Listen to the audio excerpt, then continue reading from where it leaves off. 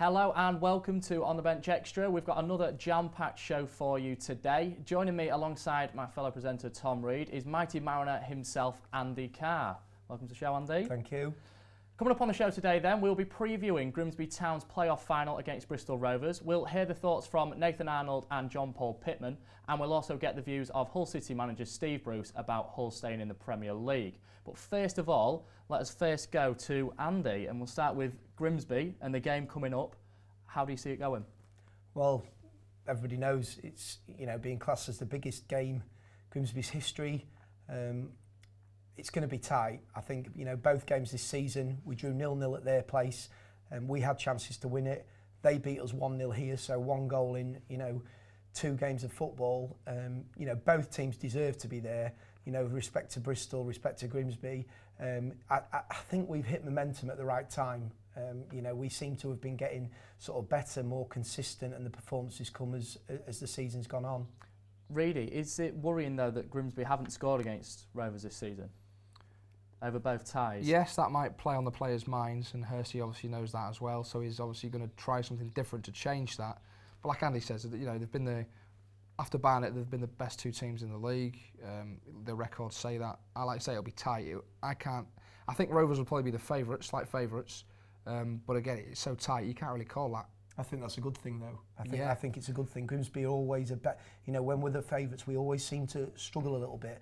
Um, Pressure's what- on Rovers then to win it. Well, Really. we, well, without doubt. And uh, I think what's an interesting fact is when we uh, went played Cheltenham back in I think it was 2007 when Russell Slade was in charge, we beat Cheltenham home and away in the league, but then lost in the playoff final. Yeah. You know, so that, that's a good example. We beat them 3 0 at their place.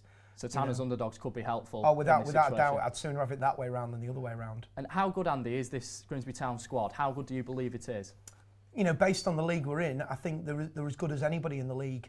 Um, you know, the, the one thing that's been missing is, you know, is, is a bit of character and a bit of passion over the last few years. And th this group of players have sort of, they've, they've sort of, they've pulled together and the fans can see that and appreciate what they're trying to do. And the, the, thing, the thing with the players is they actually care. You know, they, they love the fans. You know, the, the, you like Sir Carl Magnay and your Shaun Pearsons, you know, and, uh, you know, uh, Nathan, Nathan Arnold. You know, they've, all come together. They love the fans. They're giving it everything. And it's something we haven't seen at, down at Blundell Park for quite a few seasons. I have to say that's one of the things I've noticed about Grimsby. The team spirit seems to be really high this season. Reedy, looking at key players then for Grimsby in this game, who would you say are going to be the standout players, the players that are going to make a real difference against Rovers? Well, McKeown's been solid all season, I think. He's obviously top keeper, so he needs to have a good performance on the day. Pearson was outstanding in the playoff, the two playoff games, winning everything in the air. Disley with his experience, and he can pop up and score a goal. He's like a leader on the field. And obviously, of course, Lenell really is, is the top of the spine. He, he can score the goals. It's his birthday on Sunday as well. I know. Did you Wow, could that be an omen then? Pat, I think it's his 26th birthday. 26th birthday, and we were playing at Wembley. And Lenny, because he's had a bit of a mixed season with the fans. You know, most people know that I'm a sort of big fan of his, and and uh, and I, I just don't think he sometimes gets the, you know, the plaudits he deserves at times. But it's set up. I can see it now. Well, hopefully he can get the birthday goal that he needs. And imagine him scoring at Wembley, it'd be even better. So um, we'll talk about the game a bit later on in the show, guys. Thank you. Right, having a look at the latest set of results then. Hull's chances of staying up look slim after losing 1-0 at Burnley thanks to Danny Ings' goal. Robbie Brady twice hit the bar from free, kick, free kicks even, which might have changed the scoreline. After other results went against them, the Tigers find themselves in the relegation zone and two points clear from safety. That's the only game to look at this week. Mm. So This time of the season, it's always the it case. is, yeah. It's difficult this time of the season. Hull situation, Andy, it, it's looking a bit bleak now, isn't it? Yeah, we you see they've kind of gone the opposite way to your likes of Leicester. It's a bit like Grimsby in the opposite way, you know, in the Premier League where Leicester got the momentum at the right time, and I think I think it's it, it's it's the spirit amongst the players. I, you know, whereas Hull kind of were doing okay and then have gradually gone the other way. Leicester kind of had the thing where well. No to lose now. Let's you know. Yeah. Let's kind of go for it. You I know, think so. something like that. It is, it is going to be tough for Hull. I, I, you know, if I was to, if I was to predict, I, I actually, I think they will be the team, you know, the third team to go down. Right, okay. So, really, would you agree with Andy on that? Well, I remember three weeks ago I said Hull will be going down. You know, for me, look at the fixtures, they're going down. I think two weeks ago I changed my mind after they beat Liverpool and Palace and said I think Hull will stay up. and now I have to agree with Andy again. If you know they've gone, they lost to Burnley. Burnley were, you know, they showed. And they're down anyway. They, they're down. You don't they deserve were, to stay up if you can't beat Burnley. You know, and, and they showed a bit of spirit as, you know, a, a bit of pride. You know, where Hull, you know, to be fair, I, hi- I I didn't actually see the highlights or all the game myself. But you know, at the end of the day, they lost one 0 to a team that's already relegated, and they're fighting relegation. Yeah, it, yeah, you know, it isn't looking great, really at all, well, is it? Well, Bruce has spent money on that squad, a fair bit of money on that squad, and we said at the start of the season, look, this this squad should be safe.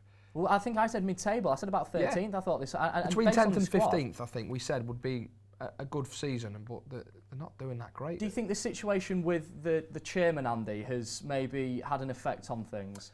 I think I I think if there's anything, you know, if there's a, if there's a slight goings on away, I think it does. I think it must affect it because obviously Steve Bruce has been asked about it, um, you know, um, but it's the old, you know, who's to who's to blame? Do you blame the manager?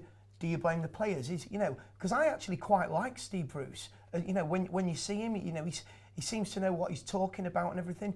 And it, it's it, you know, obviously what, myself not being a Hull City fan, Hull City fans will probably have more of an idea as to whether it's the players not you know giving their all or whether it's uh, Steve Bruce's tactics. You know, Yeah, because I think at the start of the season, Reedy, he was cited as potential England manager, and how, how things can change over the course of a season. Hey, a season's a long time in football, um, and it, is because you know Hull are off to a good start. You know, we they were okay. They were playing Europa League qualifying, but you know it, it looked promising this season. Um, but no, it's not not to be. It's all gone downhill, and obviously it's going to be remain on the, the last few games, and we're going to we're going to preview them in the you know the show coming up. So we'll hope for Hull and hope that they can get some decent results in the final few games coming up. Right, moving on now then. Um, Andy has kindly brought in some of his pictures from uh, Grimsby's famous victory at Wembley in '98. So Andy, can you just talk us about the the, the scenes and your memories of, of that game? you know it was.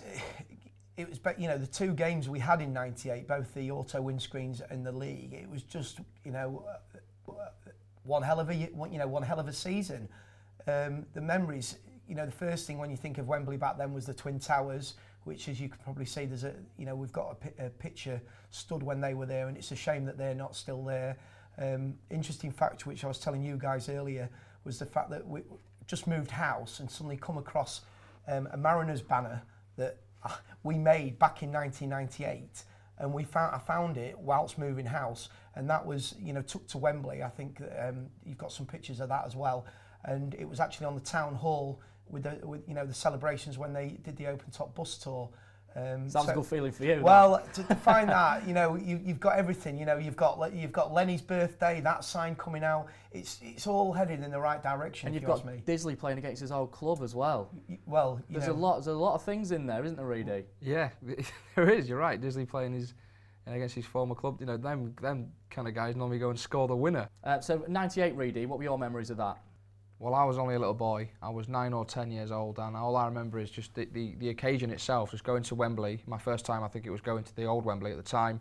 I went with my dad. Um, I, you know, I was geared up like you was, black and white or whatever, and uh, it just it was amazing seeing thousands and thousands of fans pile into Wembley to support the team. It just the atmosphere was just amazing. Incredible place as well. It was my one and only visit to, to the old Wembley for the LDV game, and uh, even as I was only young, about six or seven at the time, and it was just incredible. So how, how much do the Grimsby fans deserve it to be back at Wembley this year?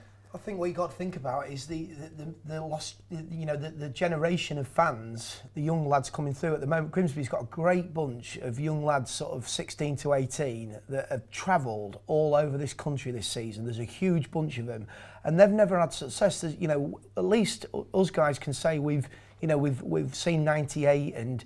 You know that we've had a few. You know we've had the, the Newcastle game. Um, Yeah. Sorry, not Newcastle Some game. the The, the, Cup top, the, games. Spurs, the Spurs games, some of the League Cup games. A lot of them haven't had that. You know, they, they've had good success in like the Scunny games and everything.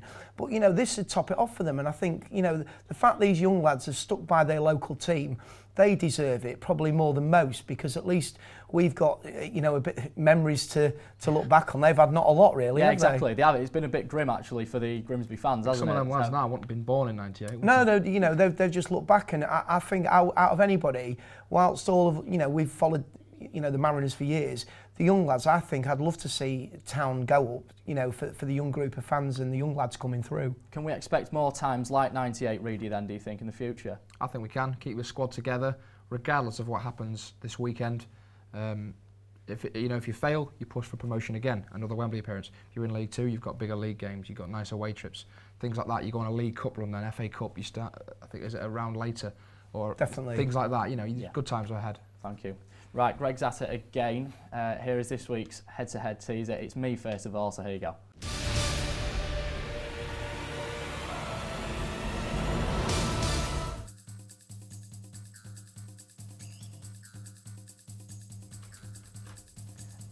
Rosenior, Figueroa, Chester,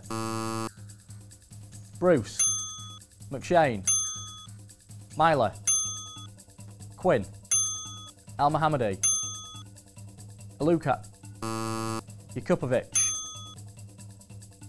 uh, Jelavic,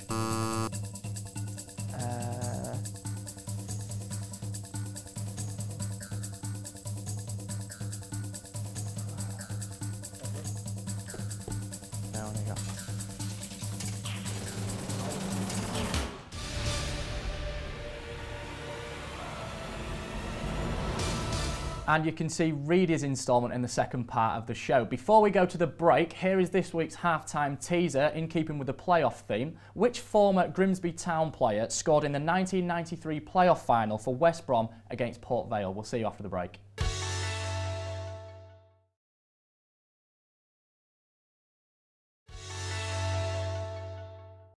Welcome back to Extra. Now, this week's halftime teaser. Andy, did you get it? No, I'll, I'll guess that Dave Smith, but I don't think He's been it is. stumped all break. You Yeah. have. You've been stitched up here. So we'll give you the answer. It was Kevin Donovan Oh, who also scored the winner for Grimsby in the 98 final against Northampton. So, still to come on today's show, we hear from Grimsby Town's John Paul Pittman and Nathan Arnold, and we also get the views of Steve Bruce. But before all of that, here's the second instalment of this week's Head to Head.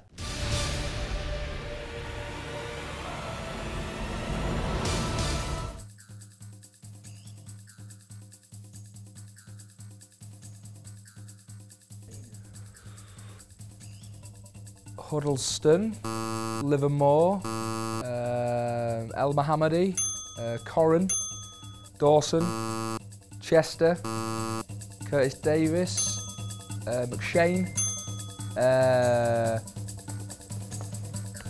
Ricketts, Guzan, uh, Meyler, uh, Sagbo, uh,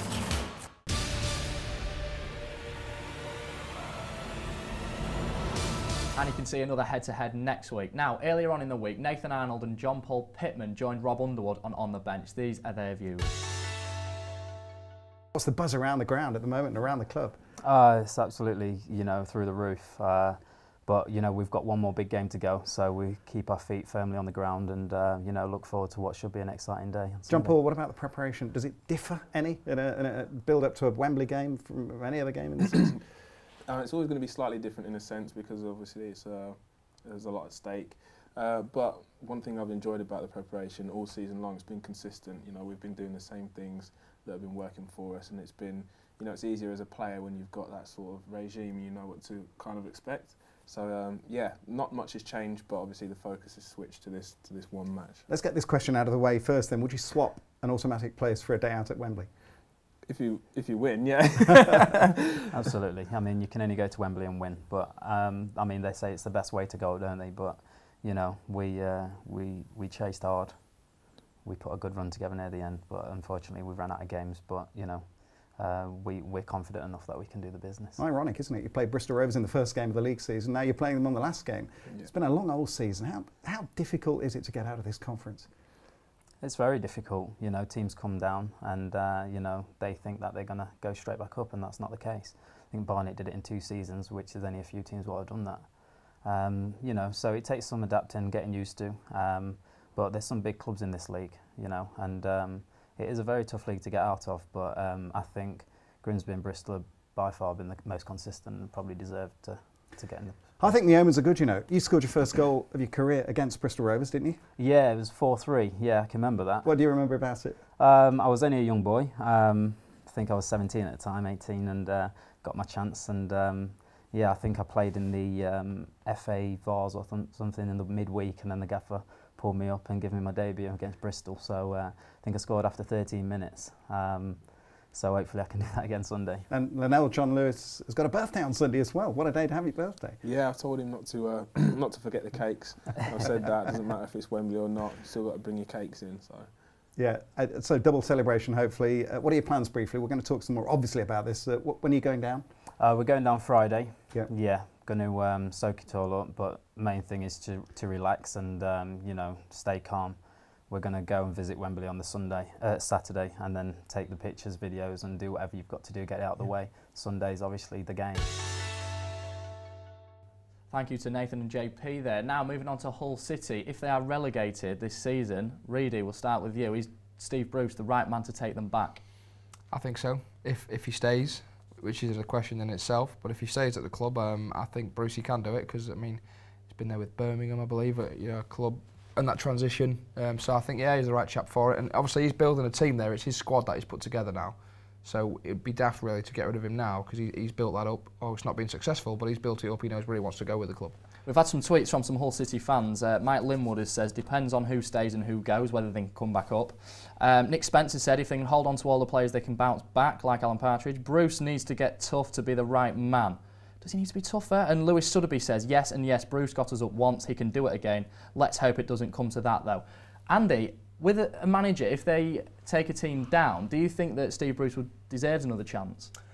Eh, Again, it, it goes back to what we said before. As the off-field um, distractions been a key factor as to you know as to what's gone on on the pitch.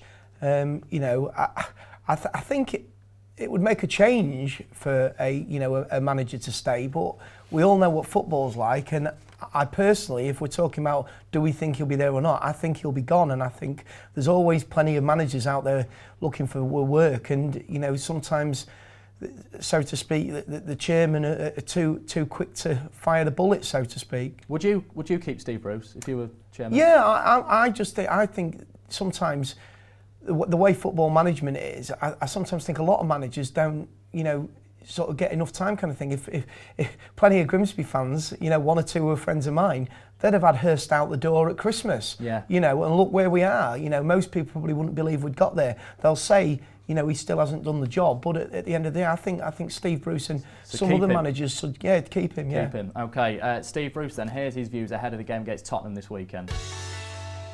Well, we're hugely disappointed because because of the the, the, the build up to it and the, and the couple of weeks we had before that, you know, the result against Palace and Liverpool. And uh, but simply if you don't perform and you let the whole thing get to you, and it's happened to to, to great players, you know, the, the whole occasion gets to you and you forget how to play the game. How often do we say that? Um, so we will perform this week better than we did last week because we can't be any worse. And uh, and I think they'll they'll be better for last week in that respect that they'll be able to handle hopefully the situation better than what we did last week. It's a tall order, obviously, to go to Spurs and get a result. Is it possible that at this stage of the season, given that they seem to have been tailing off in terms of their results? Well, as I keep saying, we have to we have to perform to the level which will give us a chance. That's a fine, and uh, we'll give ourselves a chance. But you know, West Brom won at Man U. Who'd have thought that? Sunderland won at Everton. Who'd have thought that? Leicester have won six, six out of seven. Who'd have thought that? It shows you what the Premier League is, how difficult it is, how it can change. All we can do is give ourselves a chance. Can we come out fighting? Can we go and produce a performance and, and get beat? If we get beat, we get beat with our boots on, and it's not enough. Then we have to accept that and the consequences that come with that. Um, however, I'm quietly confident that we will produce a performance which hopefully will get us a result. You have had some good results against some bigger sides this season, and you know maybe the pressure kind of is off in a kind of bizarre way. 'cause Everyone you to get a result against Burnley. Well, I think that second season syndrome. Nobody give us. We were Burnley last year. Nobody give us mm-hmm. a cat and hell's chance of surviving. Nobody give us a, a hope of staying in the Premier League. This year, there's been a bit of expectation of the players of the calibre we've brought in, and that expectation, if we're being perfectly honest, we haven't been able to live up to so far. So let's hope we can. Uh, let's hope we can keep the thing alive, and. Uh, and make sure we learn from our experiences of this year and, and carry on and move forward and still be a Premier League team. the views of Steve Bruce there. Now let's have a look at the weekend's games. Hull need a positive result against Tottenham if they stand any chance of staying up and hope results go in their favour. Their last win at White Hart Lane was in 2008. And as we've been discussing, Grimsby Town face Bristol Rovers in the Conference Premier playoff final at Wembley. We'll start with Hull City then, Reedy. The game against Tottenham, I said a couple of weeks ago, I think they'd get a result in this. And as we've been discussing before the show, uh, Tottenham haven't got a massive amount to play for. No, but we also said they'd beat Burnley, which, We we, did, was we wrong. did actually, yeah. We was wrong. So I don't know anymore. Football, what, what does it even mean? You're giving up predicting? As you say, Tottenham have got nothing to play for. That could be a bad thing because, like we say, Andy, Tottenham just throw the kitchen sink at it. I think I think you sometimes find when people look at it and, and they'll say, "Oh, we, you know, oh, we could beat them because they've got no to play for." Sometimes that benefits the team that haven't got anything to play for because they're quite relaxed. They can go out, just play football. They're not worried about necessarily making mistakes because it doesn't matter. we saw that with Wrexham against Grimsby, didn't we? Yeah, they had nothing to play for and they looked like world beaters. Prime prime example of that. They came in, they thought, "No, we we we'll relax. We'll play a good bit of football," and they, they look pretty good. I think, you know, I I, I actually think it'll be a two-one victory for Spurs that game. I Right, really do okay. think that. The last uh, last result of this fixture, um, looking back to last season at White Hart Lane, Tottenham won one 0 Reedy. Um, what what are you predicting for the for the Hull score? I don't think it, the squads are not too dissimilar from then. Um, there's a few more faces in, in both sides, or different players have come to fruition. I don't know. I, I might go Tottenham 1 0 again because the quality is still there from Tottenham, and I think Hull, they're the nervous ones. They've got everything to lose here. So I'm, I'm going to go with one 0 Hull. I think 1 0 Tottenham. I'll go 1 0 Hull, being, being brave. Moving on to Grimsby as well, then. Um, just quickly, obviously, we talked about them earlier on in the show, Andy. What are your predictions in terms of a scoreline? I, you know, obviously, I think we can win it 1 0. I think it'll be, I do think it'll be 1 0 either way, obviously, hopefully in Grimsby's favour. But don't be surprised if it goes all the way to penalties. Penalties. Reedy, are you fancying that as well? I've been saying that the past week or so since that they, you know, the final was announced. I said I've got a gut feeling it's going to go to penalties. It's going to be so tight. The teams won't be separated in 90 minutes. Uh, maybe a nil-nil or a 1-1. I think it's going to go, yeah, to, to penalties, and I can't call it from there. Are we all going with the draw then? Because I'm going to go with 1 all. Draw after 90 minutes. I'll go. I'll go one 0 Mariners actually. Well, now he's I'll changed go- his mind I'll, now. go. I'll change my mind. I'll go one 0 Very positive, you, Andy. Right, that is all we've got time for this week. Thank you very much to Tom Reed and Andy Carr for joining us. Uh, don't forget, you can also join on the bench. That is Tuesdays at 8 pm on Estuary TV. You've got Rach Chadwick this week. Uh, this show, obviously, 10 am on Estuary TV every Saturday. Don't forget, you can also get in touch with us on social media. The details are on your screen now, and also the email address. And you can follow our relevant stat man, Greg. It's at Take Stat. So thank you very much for joining us, chaps. Thank you. And until next week, it's goodbye. Very good luck to the Mariners.